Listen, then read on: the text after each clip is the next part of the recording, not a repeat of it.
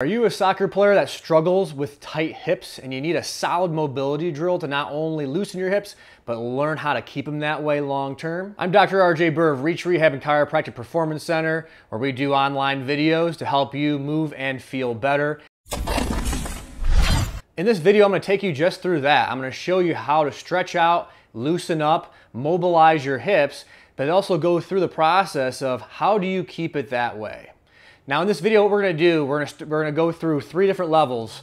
Uh, low, medium, high, beginner, intermediate, advanced, one, two, three, ABC, whatever you wanna call it. There's three levels. We'll start the easiest first, we'll go to intermediate, and then we'll go to more advanced. And what we're gonna be doing here is not just stretching. Why are we not just stretching? Well, the reason why stretching doesn't work because you haven't learned how to control that newfound range of motion, meaning that if you just hold a stretch down here, you haven't trained your body how to use it. It just stretches out. When you stand up and move around, run around again, it gets tight again. So when we work actively through these range of motions, we train our brain and we can groove those patterns so that way it's usable and it's and it's solid to be uh, to for your sport, which is in this case soccer for this video.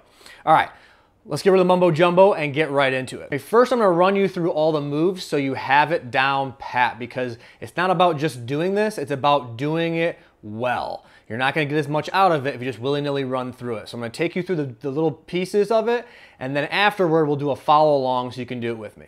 All right, now for level one, we're gonna do, I'm on my left-hand side, we're gonna start like this. So if you look at me here, I'm on my side, knees bent, knees bent, my left leg is down like this. So assume this position here.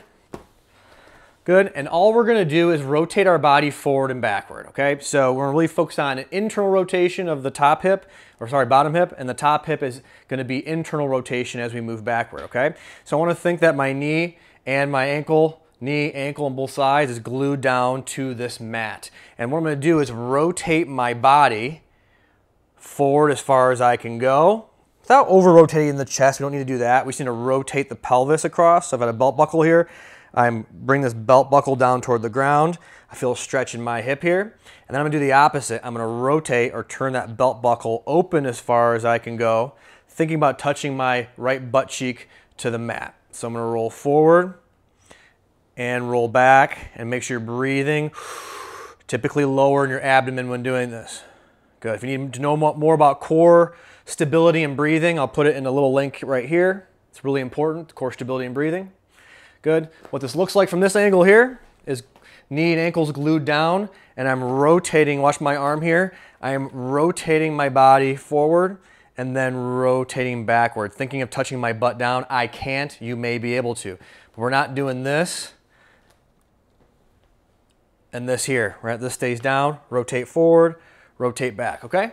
Now we're gonna switch sides. I'm gonna go here. Oh, there we go.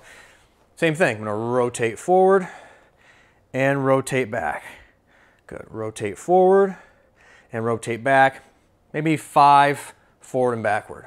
Good, breathe low. Make sure the knees and ankles stay down. Good, that's level one. Next, we're gonna do is level two. We're gonna start in this recumbent sitting position. So my knees are bent, chest is proud. I'm not rounded like this. I'm nice and tall. I'll turn this way. So I'm gonna be up this way and we're gonna think about windshield wipers with the legs. And we're gonna drop the legs down to one side. Good. Kind of like that first position we started with. And then we're with control. We're gonna come to center, breathing, and then drop to the right hand side. Stay tall. Good. We're gonna switch to the left. Good. And with control, Drop down to the right. If you need some support with your hands, you can. You can put a hand down to support this side. You can put a hand here to support this side. Good. The next step after you have this is we're gonna drive the knees down and lift our body up with control without jerking like this. So we're gonna come up, lean forward, come up slowly, come down slowly. Good. This looks easy, can be very difficult. So lean forward, Slowly drive the knees down, lift your body up and forward. Slowly sit back. The sitting back part is harder. With control, we're gonna come to center and then we're gonna drop down to the opposite side. Same thing, we're gonna come on up and then come on down with control. If you need some hand support, put that down. You can come up and come down. We'll go other side again with hand support. Nothing wrong with using some hand support. Come up come down. You might have no problem coming up. You might need the hand. coming down. Good. All right, we got both sides there. Now we're going level three. Here we go. So we're gonna start in a side bridge position. I like this in the forearm, knee stacked and bent here. So it looks like this here. So it's not straight, knees bent, hips bent. Get that shoulder out of your ear, pull it down nice and straight through here. See how sloppy I am like I'm on the beach posing? I'm gonna straighten out like this. Once I have this position, we're gonna basically do a side bridge by bringing the hips up and forward and back, okay? This is step one, forward and back, good. Now step two, because in soccer you kick, right? It's not all just hips, we're kicking the ball. So we're now we're gonna start challenging our core stability on one side, our stance leg, and then creating mobility in our kicking leg, okay? So once we have the up and down, we're gonna come up and then kick, right? You also wanna move this hand, right? Because when you kick or you run, it's opposite arm, opposite leg, right? So I'm gonna kick here. You can simply hold like this to get used to it, but what you wanna do is sit back, sit up and kick, and that mimics the stability and mobility needed in kicking a ball. Once you have that, we can make it even more specific by setting up in this first position that we started with here, the knees bent. We'll come on the forearm. When you kick a soccer ball, right, you sling that leg back and then you sling it forward. So we want to mimic that. So my left leg is back here. And what I'm going to do is slowly to start, I'm going to come up, kick, and return. Good. Make sure you're strong on the shoulder. I'm gonna add a little bit more speed now that I'm comfortable with this, okay? We're gonna go and back, and back. Good. Control. If you're all weeble wobbling all over the place, slow it down. Good. Okay, we'll go to the other side. So we'll first start here, shoulder away, nice and straight here, knees stacked. We come up into the bridge. We're comfortable with that. We're gonna sit back and forward. We're comfortable with that. We're gonna sit forward and kick. Good, we're comfortable with that. Now we're gonna do the full process.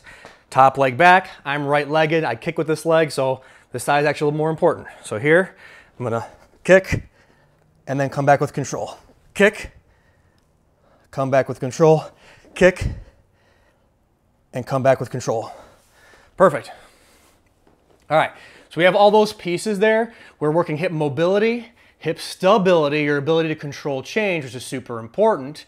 Uh, so we're opening up the hips and then we're teaching the body how to control that through an active range of motion like we do in soccer, which is moving around, running, and especially that kicking motion we had at the end there. All right, so make sure you're doing this at least know, as a warm up before soccer, but I'd say twice a day and uh, no more than five minutes. Maybe do on each side, do five or 10 repetitions, work through it slow and controlled, and you'll see over some time, maybe four to six weeks or so, this is really gonna start sticking, okay? Last but not least, Let's do a follow along together.